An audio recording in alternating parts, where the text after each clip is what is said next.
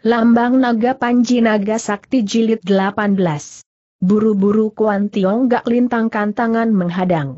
Tai Jien, harap kau suka mengizinkan Xiao Heng untuk mengutus beberapa orang Piao untuk menghantar diri Tai Jien.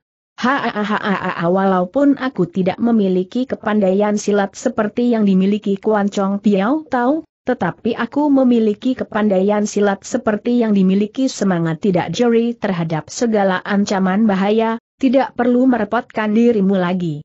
Tai Jien, seru KWSN Tiong gak kembali setelah tertegun beberapa saat lamanya bagaimana kalau berhenti sebentar dan dengarkan sepatah dua patah kata Xiao Heng?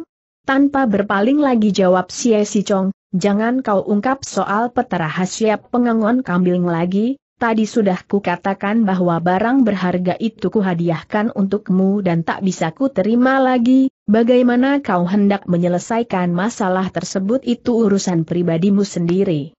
Selesai berkata tanpa berhenti lagi ia terus berjalan dan lenyap di balik hutan. Menanti Si Si Chong serta Jen Pak Tu telah berlalu, Kuan Chiong gak segera berbisik. Saudara Pui, Bawahlah Giok Long serta Toalek mengikuti dari belakang Xiao Tai Jian sembari diam-diam melindungi keselamatannya, kalau terjadi sesuatu peristiwa barulah kirim kabar kepadaku. Pui Cheng Yan mengiyakan dengan membawa Lim Toalek berdua mengintil dari belakang Xie Si Chong. Setelah ketiga orang itu berlalu, Jio Sujan berjalan mendekati Chong Piao Tao ya sembari bertanya, Chong Piao tahu kau bermaksud hendak menyelesaikan masalah peta rahasia ini dengan cara bagaimana? Aku telah berubah pendapat. Kau hendak berbuat bagaimana?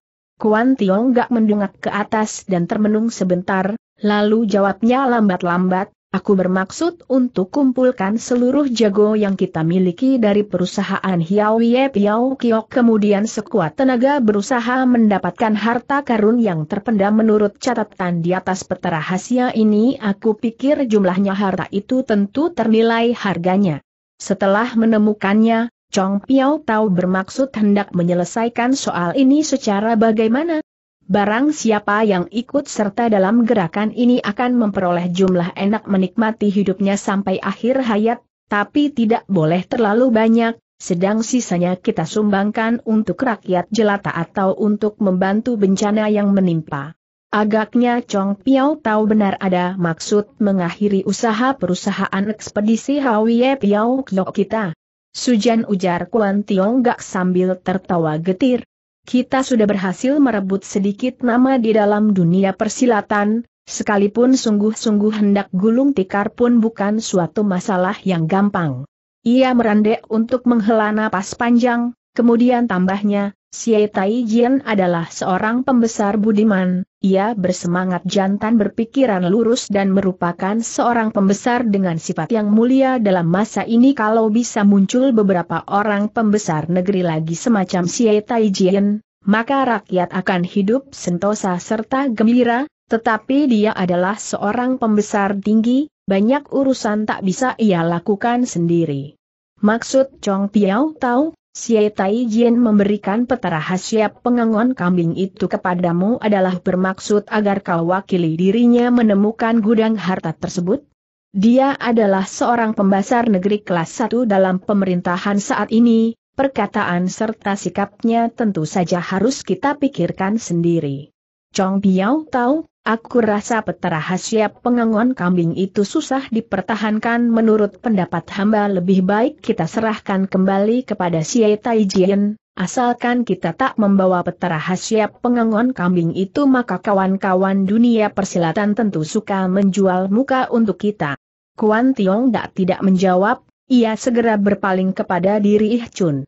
Suruhlah mereka berikan barang-barang dan kita segera kembali ke kantor pemerintahannya. Terima perintah, dengan cepat Chun menjura. Sujan, mari kita berangkat terlebih dahulu.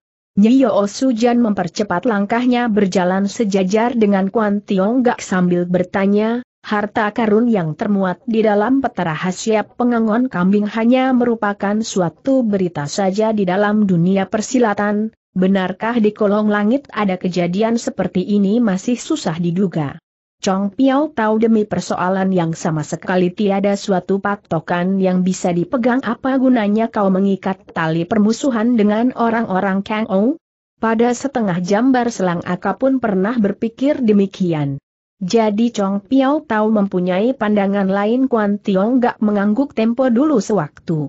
Aku mendirikan perusahaan ekspedisi Hawie Piao Kiok, dengan seorang diriku terjang ke utara Malang melintang ke selatan dengan tujuan menanamkan fondasi yang kuat buat perusahaan kita, dan kini perusahaan Hawie Piao Kiok telah memiliki berpuluh-puluh kantor cabang di berbagai tempat, jumlah Piao Su sudah melebihi 100 orang di daerah utara maupun selatan terhitung sebagai sebuah perusahaan Piao Kiok yang terbesar, kalau membicarakan soal nama kita sudah harus merasa puas.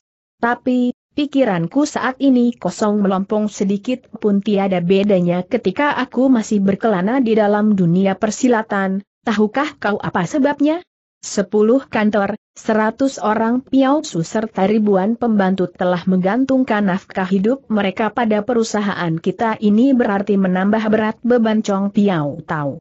Hal itu bukan merupakan alasan yang terutama tukas Tiong Gak sambil menggeleng dagangan perusahaan Piao Kiok. Kita sangat baik sekalipun memelihara beberapa orang lagi pun bukan suatu masalah yang rumit, orang Kangou yang berani mengganggu barang kawalan kita pun tidak banyak, terhadap persoalan ini aku hanya membuang waktu dengan percuma saja jerih payah kita selama banyak tahun ini sudah mengumpulkan banyak sekalipun kita harus berhenti dan membagikan harta untuk semua orang pun masih cukup buat kita untuk hidup 10-8 tahun lagi. Jikalau demikian adanya, Chong Piao tahu tentu mempunyai kesulitan lain. Sekalipun tidak salah, orang-orang Kang Ou semuanya memanggil aku dengan sebutan Chong Piao tahu, Hal ini dikarenakan perusahaan Hawie Piao Kiok kita makin besar dan luas, nama Kuan Chong Piao Tau pun makin hari makin nyaring. Tetapi bagi diriku sendiri sebutan ini sama sekali tidak mendatangkan kegembiraan buat diriku bahan sebaliknya mendatangkan rasa riku karena seolah-olah tujuanku hanya mengejar nama serta harta belaka. Ehm tentang soal ini hamba paham, Nyiyo Sujan mengangguk. Kau sungguh-sungguh paham? Hamba percaya benar-benar paham. Kalau begitu bagus sekali, sekarang coba kau katakan, biarlah aku mendengarkan uraianmu itu. Bakat setia kepandaian silat Chong Piao Tawe sangat sempurna, tapi dalam soal harta serta nama telah tak bisa memuaskan hatimu. Ucapanmu memang benar tapi salah teruskan kata Kuhan Tiong Gak dengan sepasang alis berkerut. Chong Piao tahu ingin meninggalkan suatu kenangan yang mendalam di kolong langit ini. Mendengar perkataan tersebut Kuan Tonggak mendungak tertawa terbahak-bahak. Sujan, dugaanmu sudah hampir benar hanya aku tidak berpikir seperti apa yang kau ucapkan barusan aku hanya ingin melakukan beberapa pekerjaan yang menguntungkan bagi umat manusia, agar meninggalkan sedikit kenangan di hati orang-orang kemudian hari, dengan demikian hidupku kali ini pun tak terhitung sia-sia belaka. Maka dari itu secara mendadak Chong Piao tahu hendak berubah niat dan ingin meminjam kekuatan Hawie Piao Kiok untuk menemukan letak harta karun tersebut kemudian menyebarkan benda berharga itu kepada rakyat jelata, Benar Kuan Tonggik mengangguk aku pikir dengan berbuat demikian jauh lebih menguntungkan dan lebih mulia daripada setiap hari berkelana di dalam dunia persilatan hanya dikarenakan mengejar harta serta nama belaka. Perkataan Chong Piao tahu sedikit pun tidak salah, kalau Chong Piao merasa bahwa aku orang senior masih bisa dibutuhkan Cai Harla mengikuti jejakmu. Bagus sekali justru aku hendak meminjam tanganmu. Sembari berkejap kedua orang itu meneruskan perjalanannya, tidak terasa lagi mereka telah tiba di kantor cabang perusahaan Hawi Kiok. Belum lama mereka berdua duduk di ruangan tengah Pui Cheng Yan serta Lim To Alex sekalipun telah tiba pula dalam kantor. To Ako ujar Pui Cheng Yan sembari menjura. Xiao Te sekalian telah melihat Xie Tai Jian tiba di dalam istananya dengan selamat. Bagus sekali, semua orang sudah sibuk satu malaman penuh, sekarang pergilah beristirahat semua, besok pagi aku masih ada urusan hendak dirundingkan dengan kalian. Toh aku, bukankah malam ini juga kita akan berangkat pulang ke utara? Kuda-kuda sudah diberi makan kenyang pelana segera dipasang begitu ada perintah sambung Lim To Alek. Kuan Tiong gak tersenyum. Kau suruhlah aku telah mengubah rencana untuk sementara tidak akan berangkat. Ai Pui Chong yang berseru tertawa.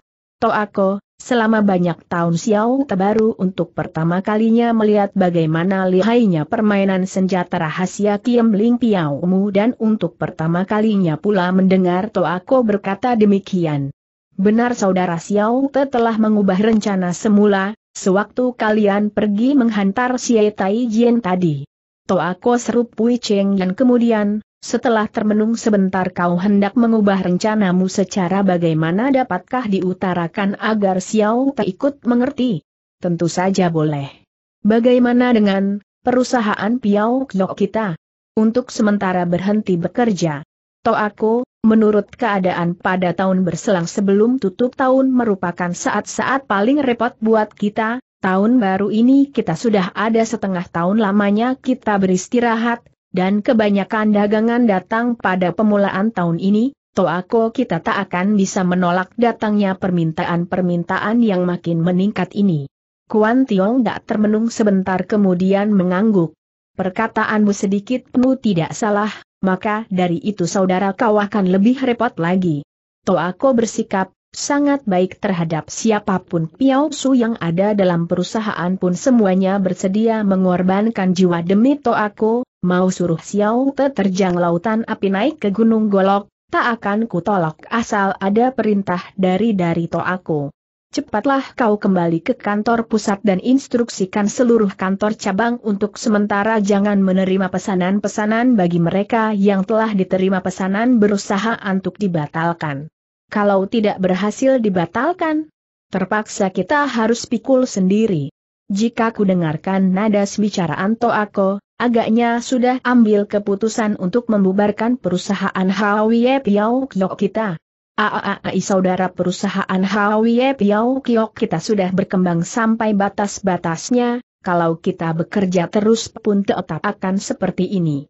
Pepatah mengatakan genting tak akan pecah kalau tidak terjatuh dari atas, Panglima tak akan binasa kalau tidak maju perang, kalau perusahaan kita teruskan pada suatu hari merek emas kita akan dihancurkan orang, daripada terjadi peristiwa semacam ini lebih baik sekarang juga kita mengundurkan diri terlebih dahulu dengan demikian kita masih bisa mempertahankan sedikit nama baik. Agaknya Pui Cheng Yan masih merasa tidak setuju dengan cara kerja Kuhan Tionggak ini, tapi ia tidak banyak bicara lagi, setelah termenung sejenak katanya. Baiklah, kalau memang Toako sudah mengambil keputusan demikian Xiao Te pun tak akan banyak berbicara lagi, entah kenapa Xiao Te boleh berangkat? Tentu saja, lebih cepat lebih baik. Baik. Sekarang juga Xiao Te akan berangkat, To Alek suruh orang siapkan kuda buat diriku. Tidak perlu begitu tergesa-gesa cegah Kuan Tiong Gak sambil tertawa. Ini hari adalah permulaan tahun, berangkatlah setelah lewat ini hari, lagi pula aku masih ada urusan lain yang hendak dirundingkan dengan dirimu. Toako masih ada urusan. Apa kalau kita tinjau dari nada pembicaraan? Toako agaknya urusan sangat mendesak tinggal satu atau tanggal dua hanya terpaut satu hari sedikit pun tidak perbedaan. Mendengar ucapan itu Kuan Tiong gak tertawa terbahak-bahak. Haa haa dalam hatimu lagi mangkel sekali kendati tak kau utarakan aku bisa melihatnya sangat jelas, hubungan persahabatan kita selama banyak tahun. Toako kau jangan salah paham, tukas Pui Cheng yang cepat sekalipun Xiao Te merasa mangkel pun tak akan merasa benci terhadap Toako, hanya saja. Aku paham. Kuan Tiong gak tersenyum hal ini hanya bisa salahkan aku tak menerangkan perkataanku sejelas-jelasnya. Kalau Toako suka menerangkan perkataanmu, hal ini jauh lebih baik lagi. Hal ini merupakan perubahan pandangan seseorang. Saudara, apa yang diucapkan Xie Tai Jien kemarin malam apakah Cui sudah mendengar? Sudah mendengar. kita berhasil memiliki kepandaian silat bagaimanapun juga tak bila bekerja sebagai pengawal barang sepanjang hidup, apalagi kita telah berhasil mengumpulkan banyak uang sekalipun perusahaan dibubarkan masih cukup untuk membiayai penghidupan kita selanjutnya. Kita harus menggunakan masa hidup selanjutnya ini untuk melakukan perbuatan yang menguntungkan bagi umat manusia. Toako bersiap sedia hendak melakukan apa? mengikuti peta rahasia ini mencari sampai dapat harta karun yang terpendam kemudian menggunakan benda-benda berharga itu untuk menolong sesama manusia yang menderita di kolong langit. Pui Cheng yang termenung sejenak, katanya, Xiao Te merasa setuju dengan maksud mulia aku hendak menolong sesama manusia, tapi dengan berbuat demikian kita mengikat tali permusuhan dengan Bulim. Tentang soal itu aku tahu maka dari itu aku hendak menghentikan semua kegiatan perusahaan kita daripada mereka menimpahkan hawa amarah tersebut pada perusahaan kita dan melukai pelancong serta pedagang yang sama sekali tak terlibat dalam hal ini. Burung luit meninggalkan suara, manusia mati meninggalkan nama, dengan berbuat demikian nama besar Toako akan tetap tercatat di hati semua orang selama ratusan tahun lamanya, Hal ini tentu saja membanggakan diri kita. Tetapi Toako tidak berpikir bagaimana dengan penghidupan selanjutnya dari beribu-ribu anggota perusahaan apabila kita tutup semua kantor cabang perusahaan Hawie Piao Kok. Apakah kau hendak mengorbankan diri mereka? Aku pun tahu urusan ini tidak gampang untuk menyelesaikannya, maka dari itu aku minta saudara suka bekerja secara terpisah membereskan kesulitan ini, Aku pikir paling lambat tiga bulan, seluruh kantor cabang harus ditutup semua, aku segera kembali ke ibu kota untuk kirim kabar dengan burung merpati. Sedang kau dari sini langsung berangkat ke pelbagai kantor cabang untuk memberi perintah. Jangan menerima pesanan lagi, beruntung dalam kantor cabang masih tersimpan sejumlah uang, suruhlah tiap piau su yang bertanggung jawab dalam kantor cabangnya membagikan uang secara merata dan bubarkan seluruh anggota agar mereka mencari nafkah hidup lain. Jikalau mereka tidak mau bubar tanya Pui Cheng Yan. Mereka harus dibubarkan, perjalanan kita kali ini untuk mencari harta bukan seperti pengawal barang kawalan biasa orang-orang yang kita hadapi adalah jago-jago lihai bulim kelas wahid, apakah tidak sayang mengorbankan jiwa dengan percuma? Perkataan Toako sedikit pun tidak salah, Xiao Wei segera akan terangkat. Beristirahatlah malam ini, besok pagi baru berangkat. Baiklah perjalananku kali ini mungkin akan membutuhkan waktu selama dua bulan lebih setelah urusan selesai aku segera kembali ke kantor pusat untuk menjumpai Toaku. Tak usah, setelah urusan selesai kembalilah ke kota Kahong, aku pun segera akan berangkat kemari. Setelah rencana disusul mereka pergi beristirahat. Keesokan harinya pagi-pagi sekali Pui Cheng Yan sudah berangkat melakukan perjalanan. Setelah menghantar Pui Cheng Yan berangkat, Kuan Tiong Gak pun menyerahkan beberapa pesan kepada diri Lim To Alek, setelah aku pergi, kau harus berhati-hati, jikalau Xie Tai Jien kirim orang mencari aku katakan saja aku telah berangkat ke ibu kota, paling lambat tiga bulan lagi akan tiba kembali kemari, Waktu itu aku bisa pergi menjumpai dirinya di istana.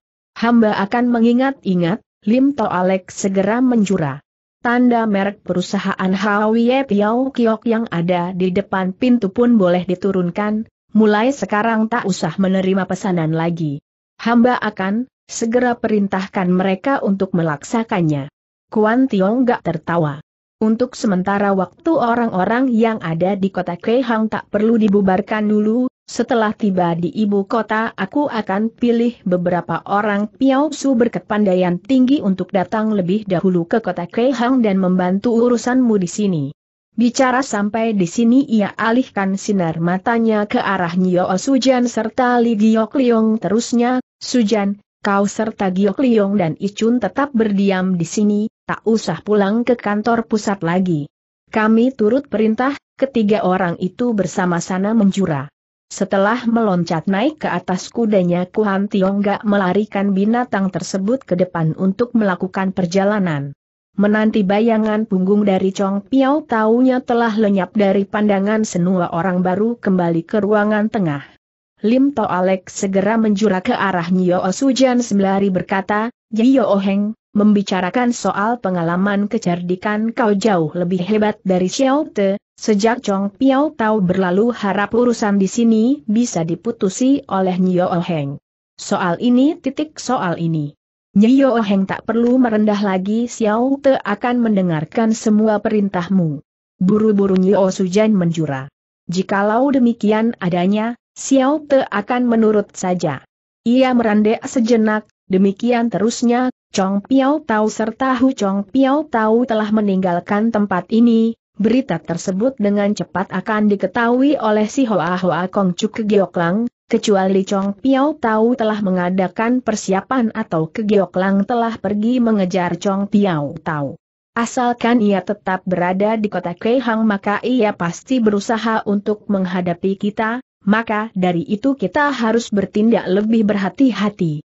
Harap Cui pikirkan care apa yang bagus untuk mengatasi masalah ini nanti sore kita berunding lagi untuk mencari satu akal untuk membendung usaha Kegiok Lang ini. Li Giok Liong sekalian sama-sama mengiyakan dan segera kembali ke kamar masing-masing untuk membendung usaha ke Giok Lang ini dan sekalian untuk beristirahat. Sementara itu kita balik pada Kuhan Tiong yang membedal kudanya melanjutkan perjalanan, dalam sekejap mata ia sudah melewati sepuluh li lebih. Waktu itu Seng Surya baru saja muncul sinar matahari yang berwarna keemas-emasan menyoroti permukaan salju nan putih menimbulkan cahaya pantulan yang menyilaukan mata. Di bawah sorotan Seng Surya, tampaklah di tengah jalan raya berdiri menanti seorang Huasyo berjubah abu-abu. Sejak semula Kuhan Tiong gak sudah mengerti apabila dirinya tak berakal bisa meninggalkan kota Keihang dalam keadaan aman tetapi tak disangka olehnya kalau orang pertama yang dijumpainya bukan lain adalah Seng Paderiau ditemuinya kemarin malam dalam hutan pohon liun, ia agak tertegun dan segera menghentikan kudanya sembari pura-pura tidak kenal. Taisu, kenapa kau menghadang perjalananku tegurnya? Hwasio itu mendongak dan memandang sekejap ke arah Kuan Tionggak, kemudian sindirnya. Kuan Chong Piao Taem, ternyata kau adalah seorang pelupa. Kuan Tionggak tertawa hambar Taisu kau adalah seorang manusia tak bernama juga tak ada gelar, hal ini membuat aku sulit untuk mengingat-ingatnya. Air muka Seng Paderi tersebut tetap hambar sedikit pun tidak berubah, ujarnya kembali, Pinceng paling tidak suka menutupi segala yang kuingin katakan, kau Kuan Chong Piao tahu sebagai seorang yang berkedudukan tinggi rasanya tak akan berbohong, Pinceng ingin menanyakan satu hal kepadamu. Silah ke isu ajukan pertanyaan. Sekarang peta pengangon kambing itu berada di mana? Berada dalam saku orang Shikuan. Bagus sekali entah dapatkah Kuan Chong Piao tahu meninggalkan benda tersebut di sini. Untuk ditinggalkan di sini bukan suatu hal yang sulit, tapi aku harus libat dahulu apakah Tai Suhu punya kemampuan atau tidak. Sapasang mata paderi berjubah abu-abu itu berkilat memancarkan cahaya tajam serunya. Pinceng, sudah melihat bagaimana hebatnya permainan senjata rahasia serta ilmu golok Chong Piao. Kalan begitu Taisu tentu sudah mempunyai perhitungan untuk menghadapi aku orang Shikuan, Sambung Wan Tiong Gak hambar, ia segera meloncat turun dari kudanya. Mendengar perkataan ITN si paderi berjubah abu-abu itu tertawa dingin. Kalau Kuan Si Curela menyerahkan peta rahasia pengangon kambing itu secara sukarela kita boleh hindari suatu pertarungan sengit. Haa titik has titik haha, Tai Suhu, sungguh enak sekali perkataanmu. Rejeki atau bencana tak bisa datang sendiri, tapi dicari wayah manusia kalau Kuan Sicu tidak percaya dengan perkataan Pinceng silahkan cabut keluar senjata tajammu. Kembali Kuan Tiong gak tersenyum Taisu adalah seorang padri yang melepaskan diri dari segala keduniawian, tetapi Cai Heliat Taisu bukan seorang padri saleh, kau terlalu serakah serta menginginkan barang milik orang lain, watakmu jelek ini bahkan melebihi manusia biasa. Ia mendehem perlahan, Lalu terusnya. Tetapi Cai Hai tetap terhadap bila mana Taisu bisa mengerti diri dan menarik maksudnya semula sehingga di antara kita tak usah melangsungkan suatu pertarungan semisalnya Taisu benar-benar sudah bulatkan tekad ingin bergebrak melawan aku orang Shikuan, harap kasuka sebutkan dulu gelar serta asal-usulmu. Oni Tohut setelah kau berhasil menangkan diriku, belum terlambat apabila Pin Cheng menyebutkan gelarku. Tapi dengan cepat Kuan Tiong tak telah menggeleng. Taisu seorang diri menghadang perjalananku, dalam hati tentu sudah punya suatu keyakinan, setelah bergebrak maka pertarungan ini pasti akan berlangsung dengan amat serunya. Senjata tak bermata tak urung salah satu pihak akan terluka. Cai He mempunyai beberapa orang sahabat karib yang berasal dari kuil Xiao Lim Xie semua, apabila Taisu adalah orang asal-usul Xiao Tim Xie. Kalau benar mau apa Tuk dan Huasyo itu tiba-tiba. Kalau Taisu adalah seorang Huasyo berasal dari kuil Xiao Lim Xie Chai Ha tidak ingin bergebrak melawan dirimu. Jikalau Pinceng tidak memberi jalan bagimu untuk lewat, aku orang Shikuan percaya masih mampu untuk meloloskan diri dari sini. Bagaimana kalau Pinceng bukan keluaran dari kuil Xiao Lim Xie? Hal ini akan kulihat dulu bagaimana kepandaian silat yang kau miliki. Si Huasyo perjubah abu-abu itu kontan tertawa dingin. Kuan Tiong gak kah sudah bicara banyak sekali tak gunanya, peduli apa yang kau katakan aku tak akan menyebutkan gelar serta asal-usulku. Setelah Taisu berkeyakinan bisa mengalahkan aku orang Shikuan, kau baru berani datang kemari, bukankah begitu jengek orang Shikuan itu? Aku sudah melihat permainan ilmu golok dari Kuan Sichu, hanya saja Pinceng tetap merasa bahwa nama seseorang hanya merupakan sesuatu petanda belaka. Kau Shikuan dan bernama Tionggak, kendati begitu kau pun tak boleh melarang orang lain ikut Shikuan pula dengan nama Tionggak. Di kolong langit ada sepuluh, delapan orang Kuan Tionggak hal itu tidak termasuk sesuatu hal yang aneh tetapi jelas mereka bukan Kuan Chong Piao Tau dari perusahaan Hiao Ye Piao Kiok, bukankah begitu? Ucapan yang berliku-liku ini membantu Kuan Chong Gak yang banyak pengalaman jadi tertegun.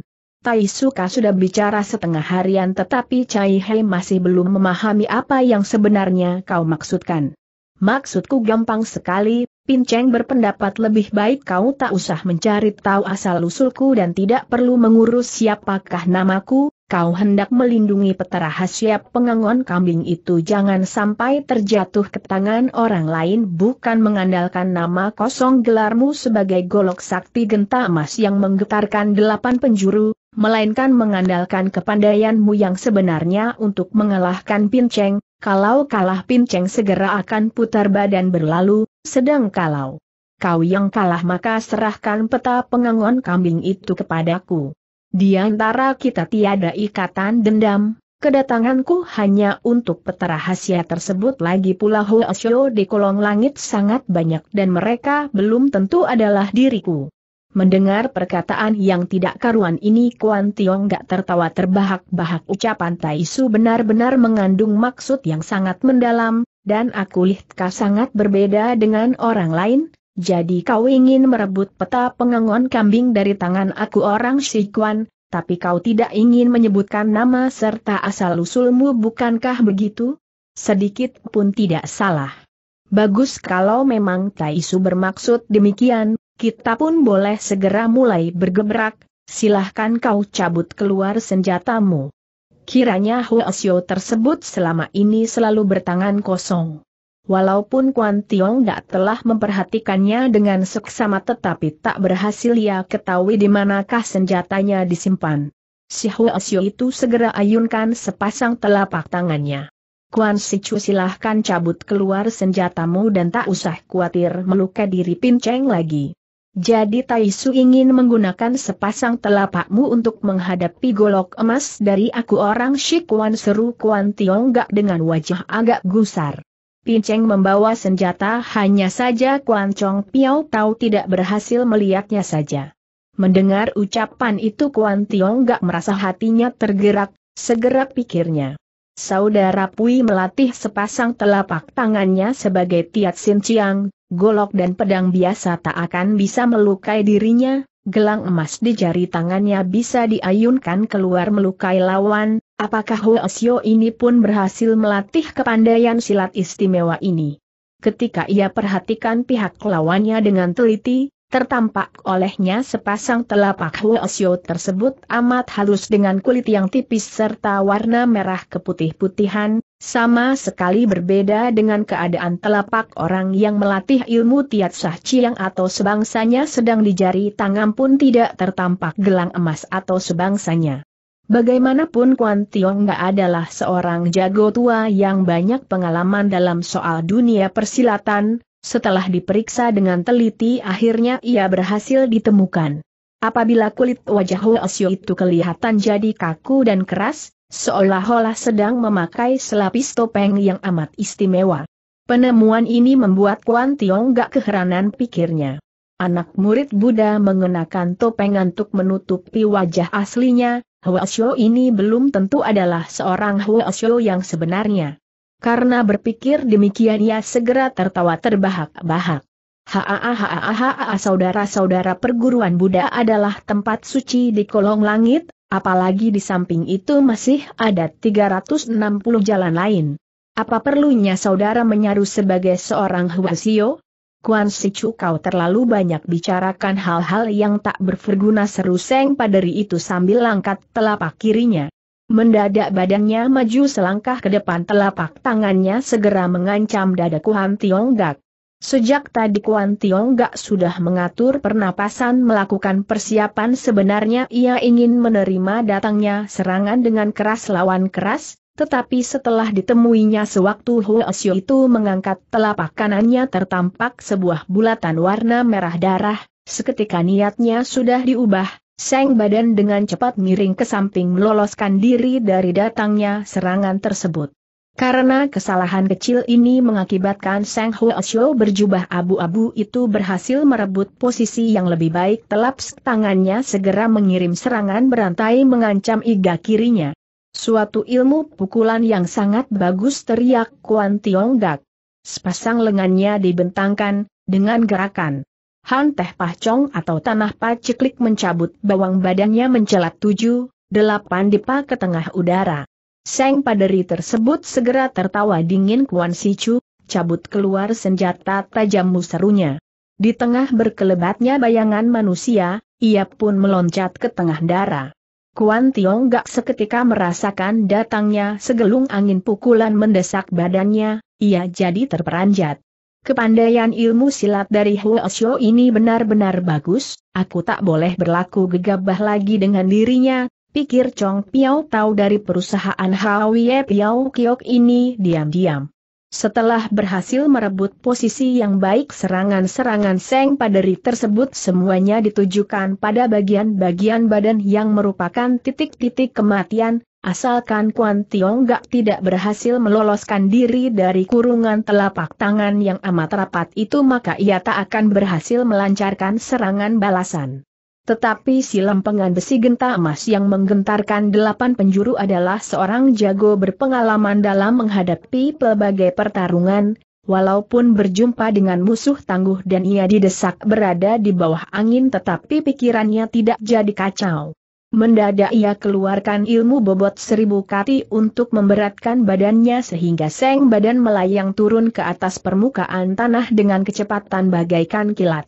Seng Huasyo berjubah abu-abu ini benar seorang jago yang luar biasa walaupun perubah yang dilakukan Kuan Tiong gak dilakukan dengan kecepatan laksana kilat tetapi Huasyo itu pun menunjukkan reaksi yang tak kalah cepatnya pula. Bersamaan dengan meluncur turunnya Seng tubuh Huasyo tersebut, telapak kanannya diayunkan ke depan menghantam ulu hati Kuan Tiong Gak. Chong Piao tahu dari perusahaan Hai Awie Piao Kiok ini jadi amat terperanjat, pikirnya. Sungguh lihai Huasyo ini. Dalam keadaan tergesa-gesa badannya berputar dan menghindar lima dipa ke samping. Kuan Chong Piao tahu seru Huasyo tersebut sambil tertawa dingin, serahkan petara hasyap pengangon kambing. Suara tertawa tersebut muncul dari belakang tubuh Kuan Gak. Selama melakukan perjalanan baik di daerah utara maupun di daerah selatan Kuan tak telah berjumpa dengan berbagai jago-jago bulim yang memiliki kepandaian silat tinggi, tetapi belum pernah ia menjumpai keadaan semacam ini hari. Terasa olehnya telapak tangan Hoesyo itu bagaikan menempel di atas punggungnya saja sama sekali tak berhasil diloloskan. Dalam keadaan terkejut bercampur gusar badannya mencelat kembali ke tengah udara, golok emas pun bersamaan waktunya diloloskan dari dalam sarung dengan menciptakan selapis cahaya keemas-emasan. Oleh sambaran sinar tajam yang amat menyilaukan metu itu Huasyo tersebut terdesak mundur ke belakang, jengeknya sambil tertawa dingin. Kuan Tiong Piao tahu seharusnya dari tadi kau sudah loloskan golokmu. Karena kehilangan posisi Kuan Tiong gak kena didesak sehingga sulit untuk putar badan, saat ini ia baru berpaling dan berdiri paling berhadapan dengan Hoesyo itu. Taisu, sungguh lihai ilmu telapakmu, pujinya. Kuan Chong Piao tahu, kau sudah kaya raya, namamu pun sudah tersohor di kolong langit, agaknya tidak perlu begini untuk mengadu jiwa dikarenakan pengangon kambing. Mengesampingkan soal peta pengangon kambing, cukup mengandalkan jurus serangan Taisu yang berhasil mendesak diriku aku orang Shikuan sudah sepatutnya minta petunjuk dari dirimu. Setelah merandek sejenak, terusnya, walaupun Taisu sudah memperlihatkan sedikit kepandaianmu maka aku pun berhasil membuktikan akan satu hal. Sebenarnya Huasyo itu sudah bersiap sedia hendak turun, tangan kembali tetapi setelah mendengar ucapan itu tanyanya, kau sudah membuktikan soal apa? Taisu bukan berasal dari partai Xiao Lim. Kapan Pin Cheng pernah mengaku berasal dari kuil Xiao Lim Xie? Tidak salah, kau memang tidak pernah berkata demikian, tetapi dalam hati Cai Hai pernah mempunyai kecurigaan-kecurigaanku sudah lenyap, kita boleh melanjutkan pertarungan kita. Manusia mati karena serakah, kuda mati karena makanan. Kuan Chong Piao tahu sudah memiliki nama serta harta apa perlunya begitu serakah masih ingin mengangkangi peta rahasia tersebut? Kami adalah orang-orang awam yang biasa gulang-guling di antara soal nama dan harta punya pikiran. Serakah sudah umum, tetapi Taisu adalah seorang paderi tidak disangka nafsu serakahmu jauh berada di atas nafsu aku orang Shikuan. HMMNNN agaknya kita tak bisa merundingkan persoalan ini lagi. Sebagai penutup dari ucapan tersebut, telapak kanannya dibabat ke depan keras-keras. Kali ini Kuan Tiong tak tidak berani berlaku ayal lagi, golok emasnya segera diangkat dan dibabat sejajar dada. Taisu, silahkan kau pun cabut senjatamu serunya. Hwasio itu memutar pergelangan tangannya menghindarkan diri dari babatan golok lawan, sedang telapak kiri didorong ke depan dengan gerakan secepat kilat. Segulung angin pukulan yang maha dahsyat segera menghantam pergelangan tangan Kuan Tiong gak memaksa orang Shikuan ini harus menarik kembali goloknya ke samping. Meminjam kesempatan itu Huasyo berjubah abu-abu itu mendesak maju ke depan telapak tangannya secepat kilat menghantam iga kanan. Kuan Tiong tak terperanjat, buru-buru ia mundur tiga langkah ke belakang untuk meloloskan diri dari datangnya serangan tersebut. Golok emas di tangannya segera dilintangkan ke depan dengan gerakan Hua Hun Im yang atau menggaris pisah Im dan yang dengan susah payah akhirnya berhasil juga membendung datangnya serangan Hua Sio itu. Setelah menjumpai dua kali keadaan kritis, Kuan Tiong gak baru merasa bahwa Hwasio lawannya benar-benar jago silat yang memiliki kepandaian silat yang luar biasa. Orang yang bisa melayani permainan golok emasnya dengan telapak kosong tidak banyak dijumpai dalam bulim, tetapi Hwasio ini bukan saja dapat melayani dengan sempurna bahkan dapat merebut posisi di atas angin, sungguh luar biasa. Terhadap kejadian yang belum pernah dijumpainya, Kuan Tiong merasa keheranan. Permainan golok emasnya mulai diperketat dengan memilih posisi pertahanan. Tampak cahaya keemas-emasan berkelebat memenuhi angkasa menciptakan selapis kabut tebal melindungi seluruh badannya, ia mulai mengurangi serangan balasan dan lebih menitik beratkan pada pertahanan tubuh. Sekalipun demikian, secara diam-diam ia mulai memperhatikan perubahan telapak Huasyo itu. Ia berharap dengan andalkan pengalaman yang selama puluhan tahun ia bisa menemukan perubahan jurus serangan Hoesyo itu dan berhasil mengetahui asal-usulnya. Tampak permainan telapak Hoesyo tersebut semakin lama semakin gencar, dan setiap serangan dengan perubahan yang aneh tapi tepat berhasil meloloskan diri dari setiap babatan golok Wan Tionggak.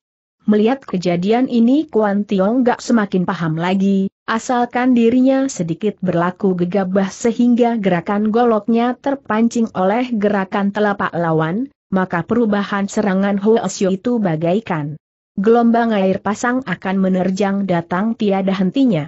Setelah melewati suatu penelitian yang seksama ia pun dapat menemukan apabila ilmu silat yang digunakan Huasyo tersebut merupakan serangan ilmu telapak yang aneh dan susah diikuti dengan pandangan mata. Kuan Tiong gak mencurahkan perhatiannya semakin seksama lagi, ia berharap dapat menemukan titik kelemahan dari permainan telapak yang aneh itu. Karena sedikit pikirannya bercabang, mendadak lengan kirinya jadi sakit hampir-hampir saja golok emasnya terlepas dari cekalannya.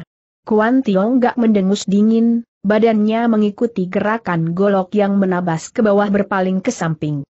Dengan gerakan demikian, kalau dipandang seolah-olah badannya terjengkang ke atas tanah. Hwasyo berbaju abu-abu itu setelah melihat serangannya mengenai sasaran, tangan kirinya kembali menerjang ke depan, karena dalam pandangannya golok Wan Tiong gak pasti akan terlepas dari genggamannya. Siapa sangka tenaga Iwa Kang yang dimiliki Kuan Tiong gak amat sempurna, walaupun terkena serangan dengan telak dan badannya terjatuh ke depan tetapi ia masih bisa mempertahankan goloknya jangan sampai terlepas dari genggaman. Sewaktu Huo berjubah abu-abu itu mempersiapkan serangan selanjutnya mendadak Kuan Tiong tak meloncat ke tengah angkasa dengan serentetan cahaya golok yang menyilaukan mata. Inilah ilmu silat yang paling diandalkan Kuan Tiong Gak sepanjang hidupnya sering dalam kekalahan berhasil merebut kemenangan dan entah sudah berapa banyak jago-jago bulim yang terluka atau binasa di bawah serangan ini. Hwasyo berjubah abu-abu itu tidak menyangka dalam gerakan mencelat pihak lawan bisa mengirim sebuah serangan yang demikian dahsyat, buru-buru badannya mundur ke belakang untuk menghindar.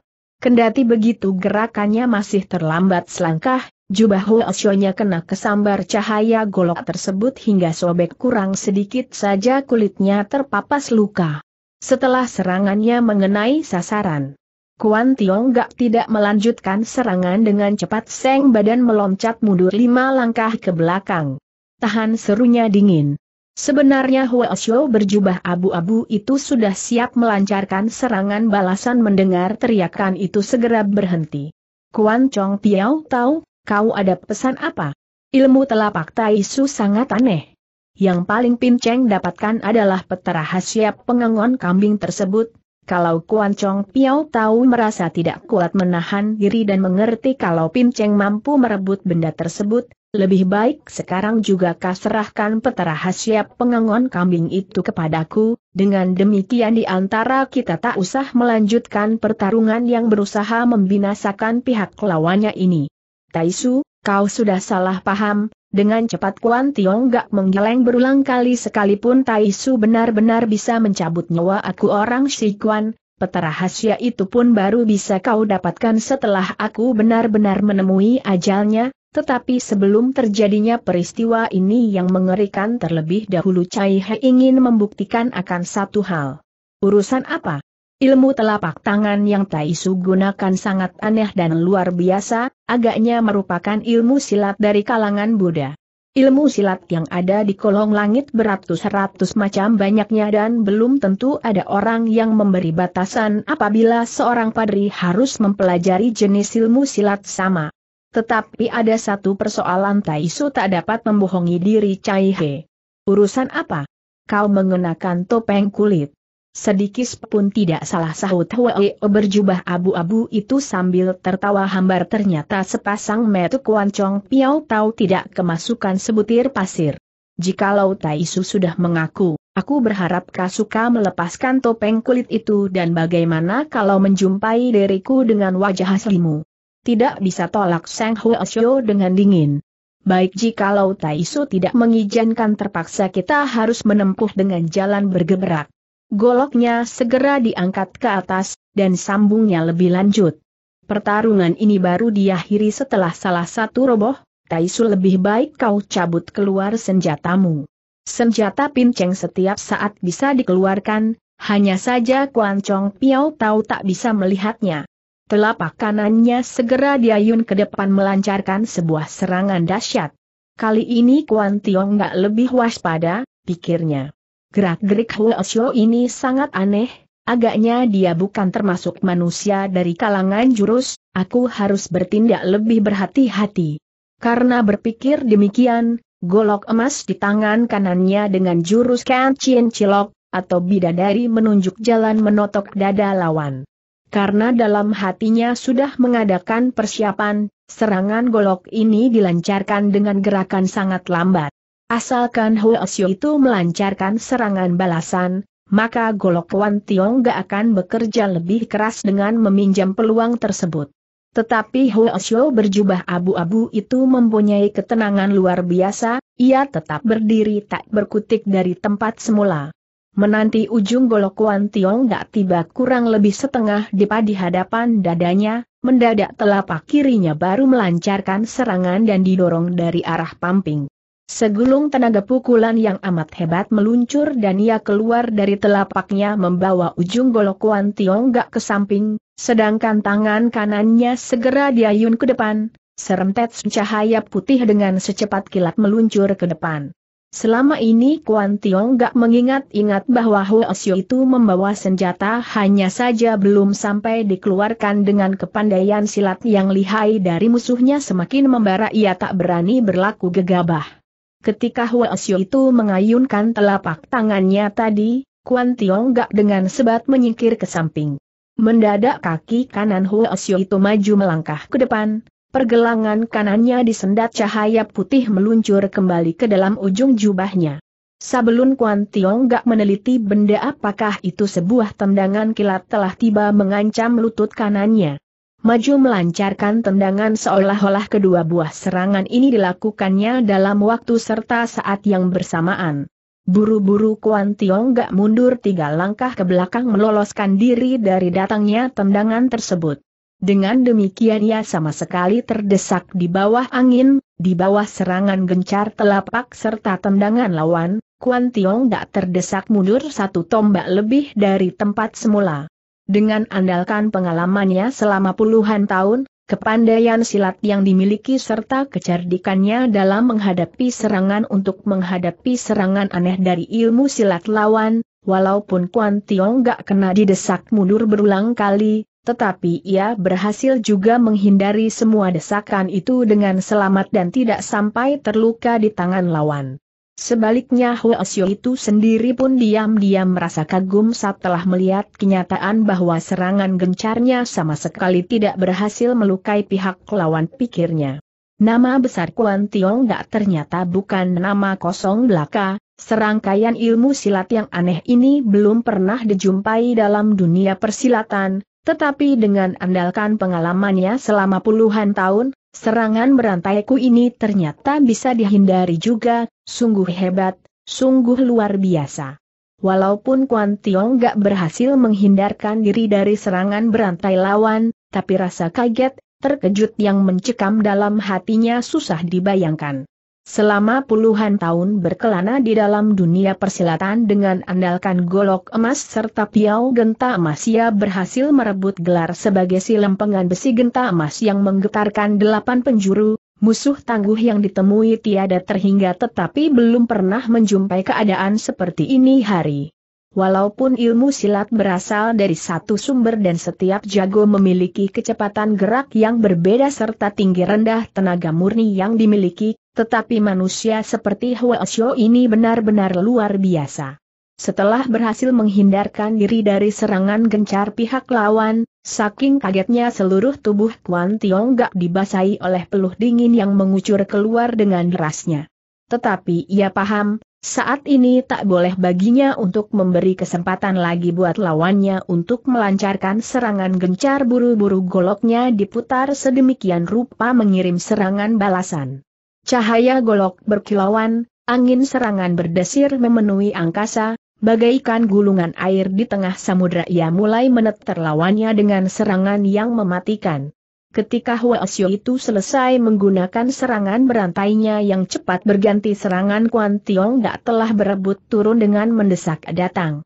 Tetapi Huasyo itu sama sekali tidak melayani serangan balasan dari Kuan Tiong Gak ini, Badannya segera meloncat ke belakang untuk menghindar.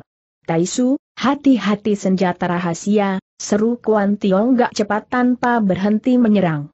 Tangan kanannya diayun, seremtetan cahaya keemas-emasan dengan diiringi suara deringan nyaring meluncur datang dengan kecepatan bagaikan kilat. Kuan Chong Gak pun tahu serangan senjata rahasia ini tak akan berhasil melukai lawan, oleh karena itu senjata rahasia pertama begitu disambit keluar, tangan kirinya kembali diayun ke depan mengirim dua batang senjata rahasia lagi. Senjata rahasia itu dengan digerakkan B mendesir ke depan, suara genta bertalu di angkasa, tiga batang senjata rahasia dengan membentuk segitiga mengurung tubuh Huasyo tersebut.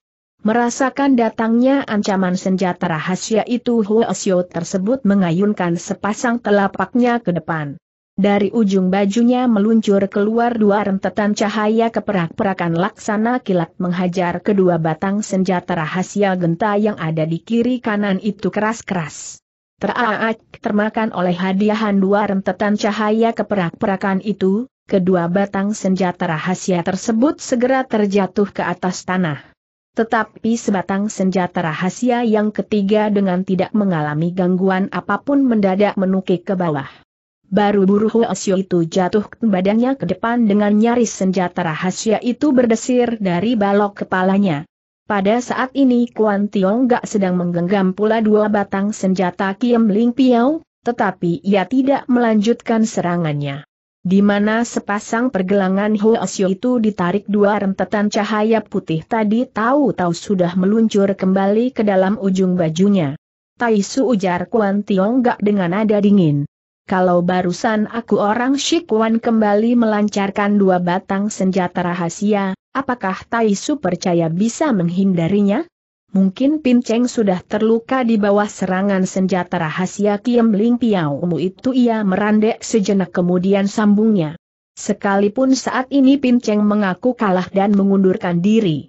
Kuan Chong Piao tahu pun tak akan bisa tiba di ibu kota dengan selamat. Hal itu merupakan urusan pribadi aku orang Shikuan, tak perlu Taisu ikut repot berpikir. Hwa berjubah abu-abu itu kontan tertawa dingin. Yang penting masih ada satu urusan yang hendak diterangkan kepadamu, walaupun pada saat ini aku rela mengalah di bawah serangan, senjata rahasia Kimling. Piaumu, tapi aku sama sekali tak akan melepaskan niatku untuk merebut peta rahasia pengangon kambing tersebut. Saat ini peta rahasia pengangon kambing berada di dalam saku aku orang Shikuan kalau Taisu bisa merebutnya silahkan turun tangan. Hwasyo berjubah abu-abu itu mendengus dingin, tanpa mengucapkan sepatah kata pun ia putar badan dan berlalu. Sambil memandang bayangan punggung si Hwasyo yang lenyap dari pandangan matanya diam-diam Kuan Tiong gak berpikir dalam hatinya. Ilmu silat yang digunakan Hwasyo ini sama sekali bukan ilmu silat aliran Xiao Limpai, wajahmu ditutupi dengan selapis topeng manusia, kepandaian silatnya aneh, Jelas ya memang ada maksud menutupi asal-usulnya sendiri. Gerakan tubuh Huasyo tersebut sungguh cepat sekali, dalam sekejap mata ia sudah lenyap dari pandangan. Kuan Tiong gak menghembuskan napas panjang, ia segera meloncat naik ke atas kudanya larikan binatang tersebut ke depan. Belum berapa langkah ia berjalan mendadak terdengar suara gelak tertawa berkumandang datang dari bilik sebatang pohon di tepi jalan.